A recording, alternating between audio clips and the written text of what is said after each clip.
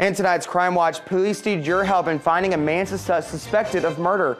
According to Captain Lloyd Baker with the Tuscaloosa Metro Homicide Unit, it happened yesterday morning on the 2700 block of 37th Street in Northport. Baker says the victim, 22-year-old Victor Rosas, and 30-year-old suspect Oscar Moran Rivera went to the store and upon arrival back to the victim's apartment, witnesses stated they saw Rosas enter the apartment bleeding from the neck. Rosas was later found dead. According to Baker, Rivera tried to escape with a female relative of the victim and was last seen in St. Clair County. He was last seen in the victim's 2001 blue Toyota Celica, tag number 63G36S1. If you have any information about the whereabouts of Oscar Moran Rivera, please call the Northport Police Department at 205-339-6600 or the Tuscaloosa County Sheriff's Office at 205-464-8672. Well, slippery roads are the cause of a fatal accident that took the life of an eight-year-old in Bibb County, according to Corporal Steve Smith of the Alabama State Troopers. Smith says the accident occurred yesterday afternoon on Alabama Highway 5 just outside of Brent. According to Smith, an SUV traveling southbound hit standing water and caused the driver to lose control, spinning into the other lane, hitting another vehicle head on. Smith says eight-year-old Jessica Huey from Marion was transported to DCH in Tuscaloosa and was later pronounced dead. Alabama State troopers are continuing to investigate the accident. According to Trooper John Reese with the Alabama State Troopers Department, Clinton Michael Gillespie of Coaling lost his life when a vehicle struck a building on Alabama 25 early this morning. Reese says Gillespie's vehicle took a curve too fast before it left the roadway. Alabama State Troopers continue to investigate that crash as well. And according to Trooper Reese, the lack of wearing a seatbelt is the cause of death to a York teen that was involved in a single vehicle wreck Saturday afternoon. Reese says the preliminary investigation shows 17-year-old Edric Jones was traveling over the speed limit and lost control. According to Reese Jones, Reese Jones was ejected from his vehicle and was pronounced dead on the scene. Alabama state troopers are still investigating that accident.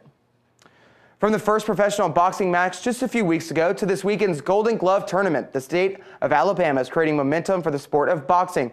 Victoria Sheehan takes us to Brookwood where a new trend is coming ringside just in time for the excitement of an Olympic qualifying year. Four years ago, Deontay Wilder took the ring in the Alabama Golden Gloves tournament, setting the stage to go on and win Olympic bronze a year later.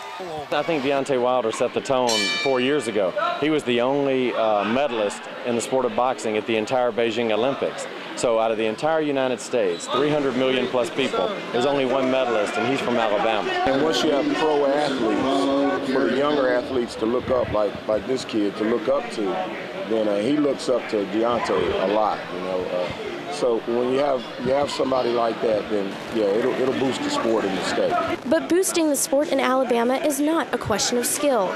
We obviously have the athletic base, you know, just turn it into the special. Just don't have the history here in Alabama, you know, but we're gonna create a history. That history is starting now with a younger talent base. Each year, the Alabama Golden Gloves tournament brings the best state fighters together, and everyone is noticing more kids stepping into the ring. It takes so much discipline uh, for these kids, and if they don't do what they're supposed to do, they don't get to compete. It's good for the kids, you know, to, um, they keep the kids busy, keep them something to do. Boxing is a great thing. I mean, as far as the kid, they can look forward to turning pro and and, and becoming the next big thing. Now in West Alabama, novice fists are hoping to charge the potential of future fighters in the state and one day continue what Deontay Wilder has started. Advice I have for the kids, um, if you're going to get in boxing, make sure this is what you want to do first of all, you know, uh, and um, just come with a big heart, come dedicated, um, and um, with that, you know, just always believe in yourself. If you don't believe in yourself, no one else is going to believe in you. Only you can take you as far as you allow yourself to. And uh, just come and, and, and, just most of all, just have fun. Reporting in Brookwood, Victoria Sheehan, WVUA News. Experts say statistically there are less injuries in children that box than children who play football. Well, Plum Grove Baptist Church joined together for a groundbreaking ceremony today to celebrate the future site of their new activity center. Local residents came to support the church's plan to open the Community Developmental Center, which will be located right behind the church. The center will allow residents to participate in a variety of activities, including tutoring for kids and recreational sports. Through the center, the church hopes to reach out to the community and impact lives in a positive way. We spoke with Plum Grove Baptist Church pastor Tyshawn Gardner, who told us how he thinks the activity center will affect the community. I think it's going to have a tremendous impact on this community. Uh, people are going to have a safe place to learn, to play, to have recreation, to have programs that are vital and essential to life and having a high quality of life. And so uh, it's much needed in this side of the a town, a community, and I believe it's going to be a, a place that's very nice and going to have a profound impact upon everybody who enters its doors. Reverend Tyshawn Gardner told us the Activity Center is estimated to open in September 2011.